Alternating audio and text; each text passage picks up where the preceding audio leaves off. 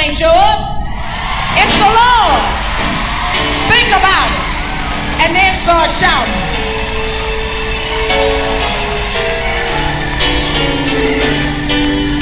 Help me sing it.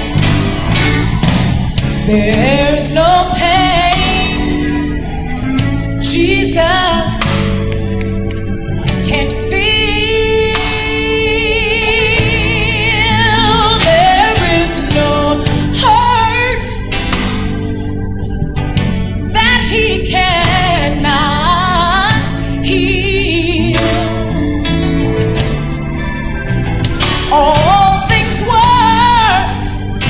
Yes, they do. According to the master's purpose and his holy will. No matter what you in the balcony are going through, remember that God only wants a chance to use you. For